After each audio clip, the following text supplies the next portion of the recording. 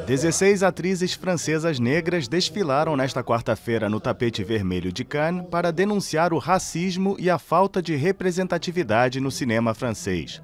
O ato, que coincide com a publicação de um livro coletivo na França, Noir n'est pas mon métier, Negro não é meu trabalho, em tradução livre, aconteceu quatro dias depois do histórico protesto no mesmo local de 82 mulheres da indústria do cinema para exigir uma paridade real. Durante a simbólica subida da famosa escadaria de Cannes, as atrizes ergueram os punhos diante das câmeras e pediram o fim dos estereótipos.